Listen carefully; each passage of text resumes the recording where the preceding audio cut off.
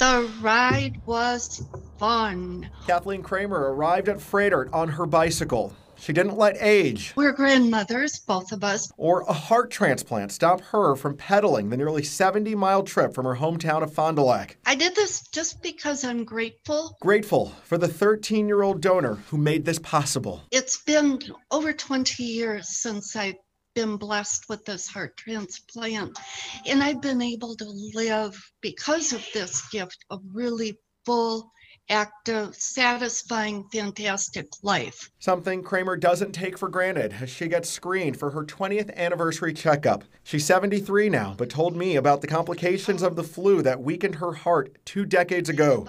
I would have to rest on the couch for a half an hour after just brushing my teeth. Relief finally came from a 13 year old boy named TJ.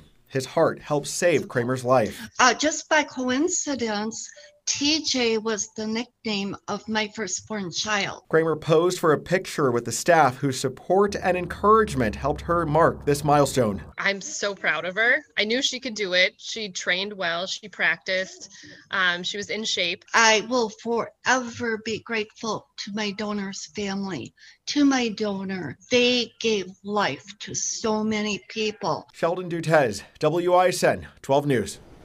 Uh, what a story. Kramer told Sheldon about the unique connections that she shared with her donor. Her first grandchild was also born on the same day years after Kramer had her transplant in the same hospital. Powered by gratitude. All right, thank you, Patrick.